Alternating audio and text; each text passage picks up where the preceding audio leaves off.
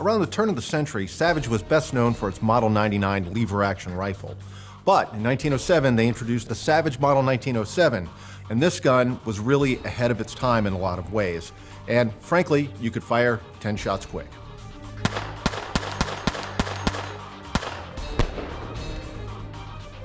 The 1907 Savage is one of the more interesting collectible firearms of the early 20th century.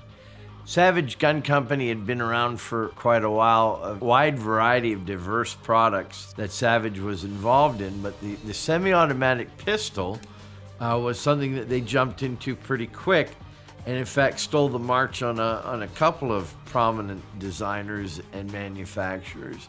The 1907, which advertised 10 shots quick in 32 and 45 ACP, was a major advancement in semi-automatic handgun design.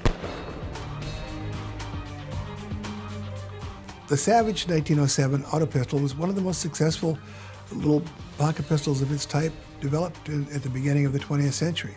It was derived from a 45 version that Savage submitted to the U.S. military for the, trials, which ultimately adopted the, the Colt 1911. However, they decided well they could they could downscale it and, and make a make a nice little handy uh, uh, carry piece, uh, which they did. The 1907 uh, was in 32 ACP. Uh, it was an interesting little, little blowback. It had what appeared to be a hammer on it, but the hammer really wasn't a hammer. It was a, an external cocking piece for an actual striker. It dispels fear. It's one of the greatest gun advertisements of all time. And it, it shows a woman popping at obviously a burglar or a home, homebreaker uh, with her Savage Model 1907 pistol chambered in 32 ACP. Uh, the gun was designed by Albert Searle. Uh, there's sometimes confusion on the guns being in 1905. They weren't making guns in 1905. That's a patent date, calm down. Uh, but it was actually quite a nice little pocket gun. Very unusual to modern eyes. When you look at this thing, it sort of has, has Coke bottle grips to it. Uh, an interesting point of its construction, and of course it's made almost entirely of steel for, except for the grips, is there, there are no screws. There are no screws in this gun at all. It all is mechanically locked together, and the grips just have spring clips that hold them in place. Uh, that's why you see them chipped a lot, people trying to get them out. No, this is a gun that was made uh, for, for personal protection, whether to be carried on the person, uh, or in the home. And, you know, this little Savage, it's all steel, so it's kind of heavy for a 32. Uh, very, very shootable, and not a bad trigger even by modern standards.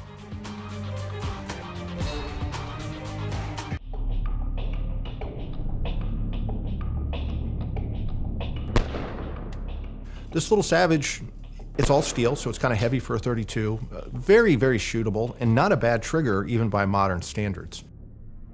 It, it's kind of got a ray gun look, even though when it was being made, I'm not even sure Buck Rogers was around yet. This is a, a, a gun that has very unconventional lines, but you know, blowback operated, uh, fairly simple. You know, it uses a, a, striker system. What people think is the hammer uh, is actually the cocking piece. So, it, very modern gun. We didn't see many striker fired pistols really, um, you know, until the 1980s, and, and obviously the Savage 1907 was there first. The other thing that's very interesting about it is that it has a staggered double row magazine. And commonly held beliefs in many circles will tell you, oh, this concept didn't come out until John Browning's 1935 High Power. That's the first of the of the double stack magazine. No, Savage actually did as early as 1907. And it was 10 shots for the 32, but of course, with the changing for the cartridge, it's only nine shot for the 380. The 32s are a wonderful pistol. There, there's, you know, books written about them. Bailey Brower, uh, a number of uh, authors, and and they offer collector a wide variety of firearms. But it's the uh, 1907 45 that's always intrigued me as being one of the, the holy grails of U.S. martial arms. And that's because there were only about 280, less than 300 of these guns made in 45 ACP in 1907 for what we call the uh, pistol trials. Even though that design didn't work particularly well with the 45 ACP cartridge, it worked remarkably well for some of the smaller cartridges of the day that were popular for personal defense, such as the 32 ACP.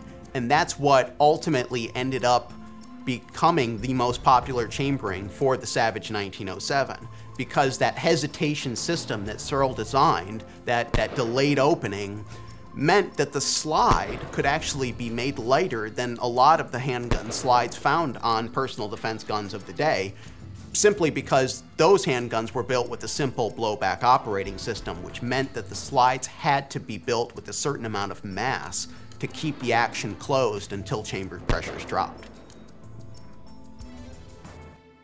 The French actually adopted adopted the uh, 07 in World War I. Uh, the, the difference between it and the actual standard civilian gun was it had a little lanyard ring on it and it had a cocking indicator. Uh, other than that, uh, it was pretty much the same. And these do turn up because the, the, the French bought about 40,000 of them uh, and, and, and, carried them, uh, you know, throughout the war. Um, they do turn up, and um, actually, the one we're looking at today is a French military issue gun.